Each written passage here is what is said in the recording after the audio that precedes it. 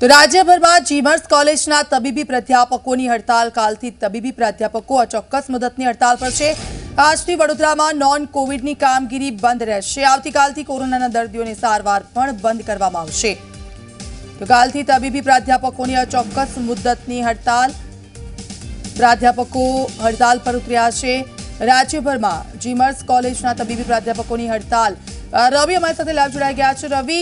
પ્રાધ્યાપકો હડતાલ પર ઉતર્યા છે. તેમની શું છે માંગણી અને હાલ શું વિગતો?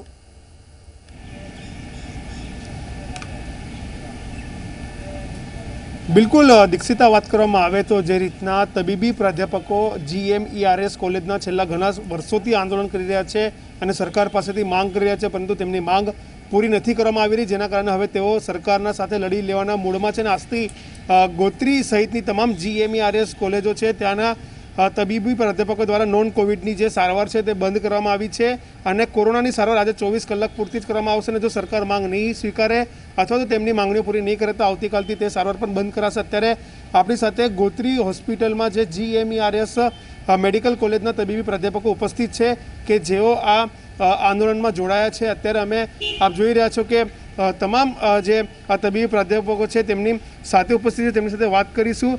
આપણે સાથે જે પ્રમુખ છે તબીબી પ્રાધ્યાપકો એસોસિએશનના તેમની સાથે વાત કરીશું. શું કહેશો ડૉક્ટર હિરેન, શા માટે હડતાલ જેવું સસ્તો તમારું ઉગામવું પડી રહ્યું છે અને આજે કઈ કઈ પ્રકારની સારવાર તમે બંધ કરી છે?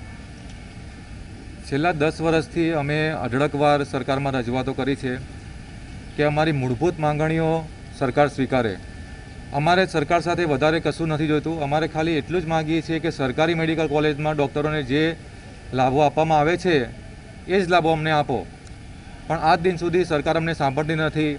અમે નાયબ મુખ્યમંત્રીને સોળ માર્ચે નિવેદન આપ્યું હતું. એ પછી અમે મુખ્યમંત્રીશ્રીને અમે ત્રણ મે નિવેદન આપ્યું હતું. પણ તેમ છતાં હજુ સુધી અમને કોઈ સાંભળતું નથી. અમને ઇવન બોલ, સાંભળવા માટે બોલાવવામાં પણ નથી આવતા આરોગ્ય વિભાગમાંથી કે તમારી શું રજૂઆતો છે, તમારી શું માંગણીઓ છે, તમે આવો અહીં આગળ. અમે તેમ છતાં કાલે સાંજે અમે સામેથી ગયા હતા આરોગ્ય વિભાગમાં મળવા માટે. કેમ કે અમને દર્દીઓની ચિંતા છે. કે આજે સરકાર આરોગ્ય વિભાગ નહીં સાંભળે તેના કારણે દર્દીઓ હેરાન થશે અમને ચિંતા છે. એટલા માટે અમે હવે આ છેલ્લું અમારું હતાશામાં ભરેલું પગલું છે આ કે અંધકારમાં આના સિવાય બીજો કોઈ રસ્તો દેખાતો નથી. એટલા માટે અમે આજથી નોન કોવિડ કામ બધું જ બંધ કરી રહ્યા છે આઠે આઠ મેડિકલ કોલેજમાં. કોરોનાના દર્દીઓની ક્યાં સુધી સારવાર કરશો અને આ ચોક્કસ સંદર્ભ પર ક્યારે જવાના? અમે સરકારશ્રીને હજુ પણ બીજા ચોવીસ કલાકનો સમય આપીએ છીએ. કેમ કે અમને ખબર છે કે કોરોના દર્દીઓની ટ્રીટમેન્ટ કરવી બહુ જરૂરી છે. આ મહામારીનો સમય છે. જો સરકાર સંવેદનશીલ હશે, તો અમને ચોક્કસથી સાંભળશે.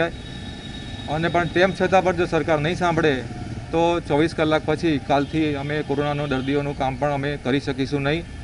અને જેના માટે સંપૂર્ણ જવાબદારી આરોગ્ય વિભાગની અને સરકારશ્રીની રહેશે. બિલકુલ તો જે રીતના ના પાડી રહ્યા છે કરવાની, શું કહેશો આ મહામારીમાં? જો તમે લોકો સારવાર નહીં કરો તો કોણ કરશે દર્દીઓની સારવાર?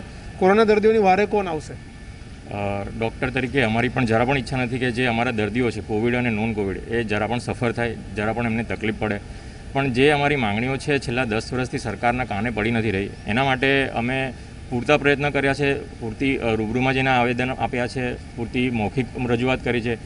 એ છતાં અમારી પાસે કોઈ રસ્તો ના રહેતા અમારે હડતાલનું શસ્ત્ર ઉગામવું પડ્યું છે. જે મહિલા તબીબી પ્રાધ્યાપકો પણ છે શું કહેશો બેન તમે તો મહિલા છો જે રીતના તમામ દાખલ છે દર્દીઓ તમારી જવાબદારી છે એમની ટ્રીટમેન્ટ કરવા માટે પણ એવું તો શું કારણ છે કે તમે હવે એ જવાબદારી પણ નથી નિભાવવા માંગતા? એક કારણ કે જે માંગણીઓ છે એ તો તમે વાત કરી અમારા પ્રમુખ જોડે અને કેટલા સમયથી અમે આના માટે વાટાઘાટોથી લેટર લખીને ટ્રાય કરેલી છે. પણ સરકાર ધ્યાન જ નથી આપતી.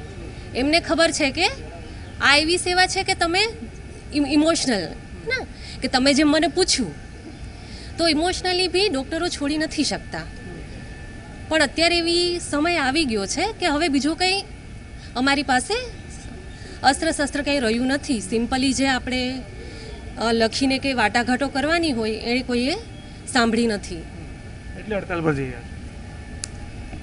હડતાલ હજી આજે તો શરૂઆત છે. આપણે ઈચ્છીએ કે સરકાર આને ધ્યાનમાં લઈને દર્દીઓને ધ્યાનમાં લઈને કંઈક નિરાકરણ કે કંઈક નિરાકરણની દિશામાં આગળ વધે એકાદ પગલું ભરે. તો જે રીતના દીક્ષિતા તમે સાંભળ્યું આ વડોદરાના તબીબી પ્રાધ્યાપકો છે જીએમઈઆરએસ કોલેજના કે જેઓ કહી રહ્યા છે કે તેઓ પણ નથી ઈચ્છતા કે તેઓ હડતાલ પાડે અને કોરોના દર્દીઓની સારવારમાં વિક્ષેપ પડે, પરંતુ તેઓ સરકાર પાસે માંગણી કરી રહ્યા છે કે ચોવીસ કલાકનો સમય સરકારને આપ્યો છે. ચોવીસ કલાકમાં જો તેમની માંગણીઓ પૂરી નહીં કરવામાં આવે, તો આજે જે નોન કોવિડ દર્દીઓની સારવાર બંધ કરી છે, ત્યારે આવતીકાલે કોરોનાના દર્દીઓની સારવાર પણ આ તમામ તબીબો બંધ કરી દેશે. ત્યારે સવાલ એ થઈ રહ્યું છે કે આ ગોત્રી જીએમઆરએસ કોલેજમાં અંદાજિત સાતસોથી આઠસો જેટલા કોરોનાના દર્દીઓ દાખલ છે. આવી રાજ્યમાં આઠ જેટલી કોલેજો છે તેમાં પણ દર્દીઓ દાખલ હશે ત્યારે આ તમામ દર્દીઓની સારવાર હવે કોણ કરશે અને સારવાર નહીં મળે અને કોઈનું મૃત્યુ થશે તો તેના માટે જવાબદાર કોણ? તે પણ એક સવાલ હવે ઉઠવા પામ્યો છે. બિલકુલ આભાર. રવિ આપની પાસેથી અપડેટ્સ લેતા રહીશું. તો જીમર્સના પ્રાધ્યાપકો છે તે હવે હડતાલ પર ઉતર્યા છે. તેમની માંગણીઓ છે ઘણીવાર તેમણે રજૂઆત કરી તેમ છતાં પણ આ માંગણીઓની કોઈ પણ ઉકેલ ન આવતા આખરે તેમણે હડતાલ કરવાનો નિર્ણય લીધો છે.